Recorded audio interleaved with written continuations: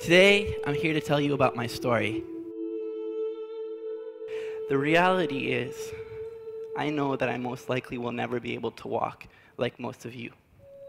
The doctors also told my parents that I would most likely be on a wheelchair for the rest of my life. But what that did was it got my mind to learn how to move my legs.